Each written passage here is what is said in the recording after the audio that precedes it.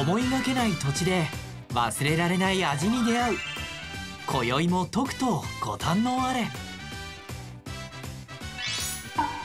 この番組は中部電力の提供でお送りします。遠州の小京都森町。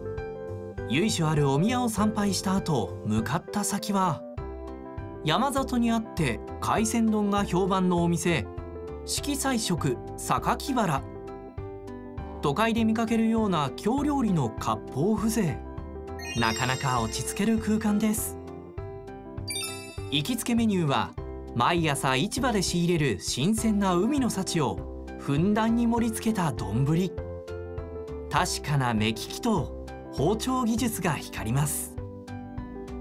色彩色榊原の日替わり海鮮丼定食。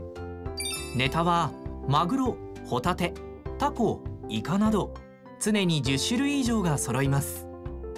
この日のスペシャリティはしめ鯖。締めすぎずレアな部分を残した味わいは格別の一言。